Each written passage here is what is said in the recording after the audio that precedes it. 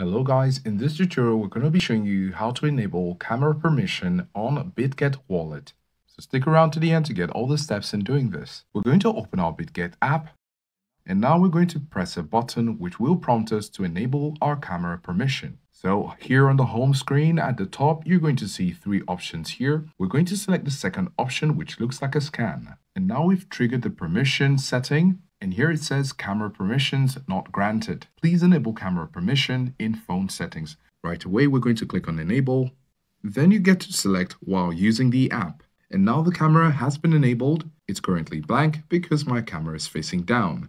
And now if I close this by pressing the X at the top left corner, and if I press that button again, there won't be any permission because the permission has been granted and the camera has been enabled. So this is how to enable camera permission on BitGet Wallet.